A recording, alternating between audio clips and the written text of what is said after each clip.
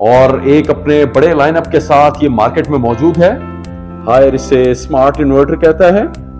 तो ऐसी harsh summers में ये अपनी कूलिंग पे कॉम्प्रोमाइज नहीं करता। वो इन फिंस के अराउंड आके ठहर जाता है और इसकी ब्लॉकेज का सबब बनता है। ये हीट रेजिस्टेंट बोर्ड है और आपके एसी की परफॉर्मेंस को मुतासर नहीं करता। हायर अपने एसी पे फ्री इंस्टॉलेशन की सर्विस देता है। और इस मॉडल की ई आर रेशो और दो मोटर्स इसके आउटडोर में इंस्टॉल होती हैं। ये 1.5 टन कैपेसिटी का मॉडल है। इसमें एक टन और दो टन के मॉडल्स भी मौजूद हैं। इस सीरीज़ में तीन मॉडल्स आते हैं। सो हायर का एयर कंडीशनर परचेस करते हुए आपको एक पीस ऑफ़ माइंड रहेगा कि आप एक ग्लोबल नंबर वन ब्रांड को परचेस कर रहे हैं, जिसका बहुत ही वसी नेटवर्क आफ्टर सेल्स के हवाले से पाकिस्तान में मौजूद है। Viewers and welcome back to the channel मैं हूँ आमिर उमर इलेक्ट्रॉनिक्स से, और आज हम मौजूद हैं अपने हायर स्मार्ट होम में। हमारा ये Haier smart home D H two Islamabad, Pakistan में मौजूद है, जहाँ हम रिव्यू करने जा रहे हैं हायर के एक स्प्लिट एयर कंडीशनर का। अगर हम हायर ब्रांड को इस कैटेगरी में देखें, यानी कि एयर कंडीशनर कैटेगरी में तो ये ग्लोबल नंबर वन है, और एक अपने बड़े लाइनअप के साथ ये मार्केट में मौजूद है। सो हायर का एयर कंडीशनर परचेस करते हुए आपको एक पीस ऑफ़ माइंड रहेगा कि आप एक ग्लोबल नंबर वन ब्रांड को परचेस कर रहे हैं, जिसका बहुत ही वसी नेटवर्क आफ्टर सेल्स के हवाले से पाकिस्तान में मौजूद है। तो व्यर्स अगर आपको कोई भी प्रोडक्ट स्पेशली हायर या इसके अलावा जो भी ब्रांड्स हैं, आपको परचेस करना है तो स्क्रीन पे आपको हमारा ऑफिशियल व्हाट्सएप नंबर दिखाई दे रहा होगा। हमारा नुमाइंदा मौजूद होता है, आप अपनी क्वेरी भेज सकते हैं। तो चलिए आज की वीडियो स्टार्ट करते हैं। आज हम हायर के जिस स्प्रिट एयर कंडीशनर का रिव्यू करने जा रहे हैं, ये सामने डिस्प्ले पे मौजूद है। ये हायर की थंडर सीरीज़ का मॉडल है। इस थंडर सीरीज़ में तीन मॉडल्स आते हैं, जिनमें से दो मॉडल्स का रिव्यू हम ऑलरेडी अपने यूट्यूब चैनल पे कर चुके हैं, यानी कि HPM और HFTCA ये वो दो मॉडल्स हैं कि जिनका रिव्यू जो हमारे इस चैनल पे मौजूद है। तो आज हम जिस तीसरे मॉडल का रिव्यू करने जा रहे हैं, इसका मॉडल कोड है H S U eighteen H F T C D ये 1.5 टन कैपेसिटी का मॉडल है। इसमें एक टन और दो टन के मॉडल्स भी मौजूद हैं। तो आज की इस वीडियो में हम इस मॉडल के उन फीचर्स और फ़ंक्शंस को डिस्कस करेंगे कि जिनकी बेसिस पे आपको ये मॉडल परचेस करना चाहिए। तो सबसे पहले जो फीचर आता है, वो है इसका वाईफाई एनेबल्ड होना। हायर इसे स्मार्ट इन्वर्टर कहता है। हायर की स्मार्ट ऐप अपने मोबाइल पे इंस्टॉल कीजिए और आप इस एसी को जहाँ भी हैं कंट्रोल कर सकते हैं। तो वाईफाई का ये फीचर उन कस्टमर्स के लिए अच्छा है, जो ईज ऑफ़ लाइफ चाहते हैं, जो चाहते हैं कि घर आने से पहले उनका एसी ऑन हो जाए, या जो इस एसी के एनालिसिस अपने मोबाइल की स्क्रीन पे देखना चाहते हैं। इस एसी का दूसरा अहम फीचर इसका high performance T three rotary compressor है। अब इसका बेनिफिट क्या है? मैं एक्सप्लेन कर देता हूँ।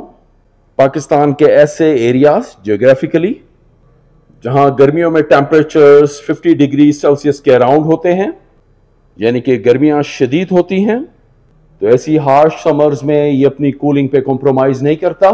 अगर आपके एरिया में 52 डिग्री सेल्सियस के अराउंड टेम्परेचर्स हैं तो ये फुल बीटीयूज देगा।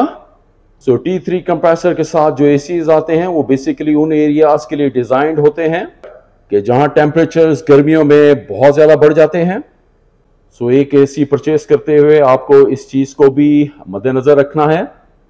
इसका तीसरा अहम फीचर ये फुल डीसी इन्वर्टर एसी है। यानी कि इस एसी में लगी पाँचों मोटर्स डायरेक्ट करंट पे चलती हैं।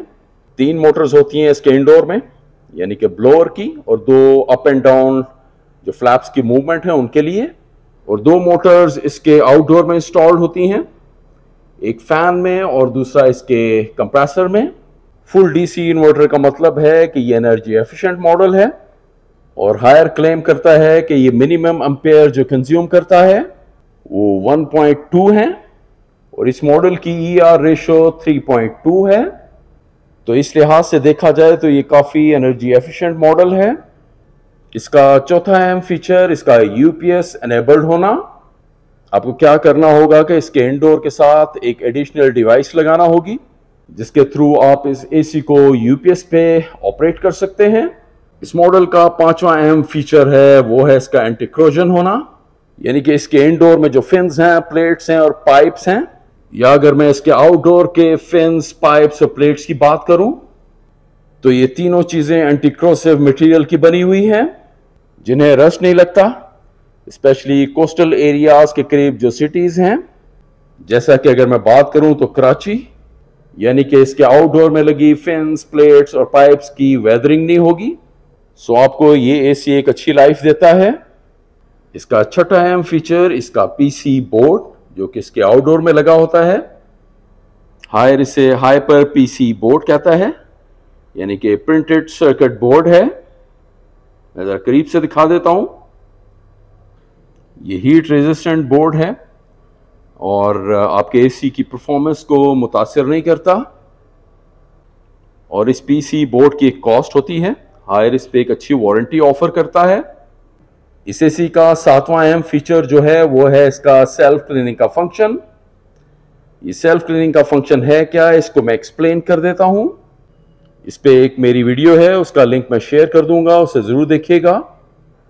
अब जब ए सी ऑपरेशनल होता है तो इसके फिन्स के अराउंड यानी कि इसके इंडोर की फिन्स के अराउंड गंदगी जमा होना शुरू हो जाती है मोल्ड्स बनते हैं, और इन फिन्स की ब्लॉकेज का सबब बनते हैं। पहले इन फिन्स की सफ़ाई ब्रश की मदद से की जाती थी। अब इन फिन्स की सफ़ाई ये एसी खुद करेगा, इसको मैं एक्सप्लेन कर देता हूँ। देखिए इंडोर में एक आपको ये प्लास्टिक मटेरियल के फिल्टर्स नज़र आ रहे होंगे। ये मैनुअली साफ़ करने पड़ते हैं। ये डस्ट फिल्टर्स हैं। एक ये लेफ़्ट साइड पे और यहाँ एक राइट साइड पे आता है। अब जब एसी ऑपरेशनल होता है तो रूम में जो मौजूद हवा है, वो यहाँ से सक करेगा। ये सांस लेगा, आप समझ लें। और जब वो हवा इन फ़ैन से टकराएगी, ठंडी हो जाएगी और ये एयर डक के थ्रू बाहर आएगी अब आपके रूम में जो भी डस्ट पार्टिकल्स हैं वाटर वेपर्स हैं, या जो भी मटेरियल है, वो इन फिन्स के अराउंड आके ठहर जाता है और इसकी ब्लॉकेज का सबब बनता है। तो रिमोट पे दिए गए सेल्फ क्लीन के बटन को पुश करने पे ये सी करेगा क्या? कि जो अपनी एयर डक्ट है, इसको क्लोज करेगा। ये मैं जरा करीब से दिखाता हूँ, इसे क्लोज कर देगा।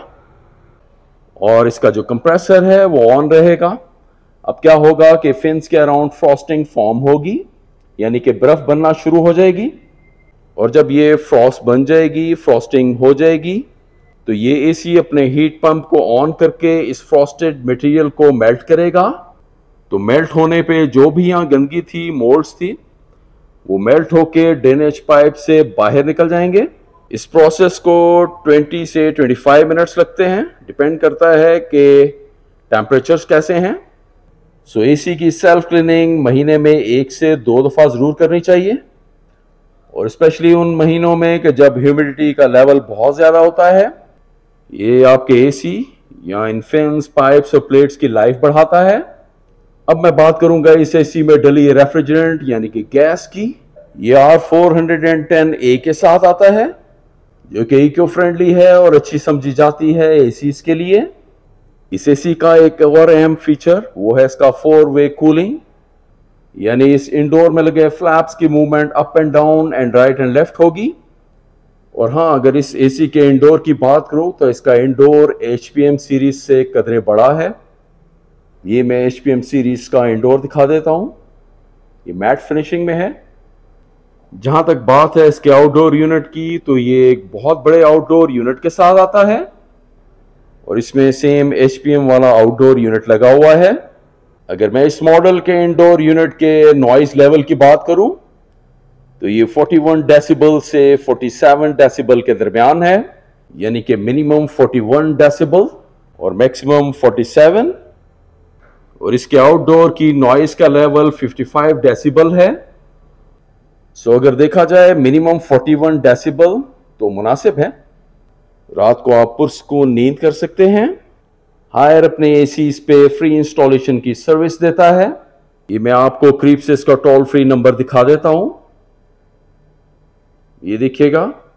जहाँ तक बात है हायर की तरफ़ से अपने एसीज पे ऑफिशियल वारंटी की तो हायर अपने एसीज के कंप्रेसर पे 10 इयर्स की वारंटी देता है पीसी बोर्ड पे 4 इयर्स और पार्ट्स पे 1 ईयर अगर आपको मेरी ये वीडियो पसंद आई हो तो इसको लाइक ज़रूर कीजिएगा और इसे शेयर करना मत भूलिएगा। और अगर आप मेरे चैनल पर नए हैं तो इसको सब्सक्राइब करना आपका फ़र्ज़ बनता है। मुझे इजाज़त दीजिए, अब मैं चलता हूँ। अल्लाह हाफिज।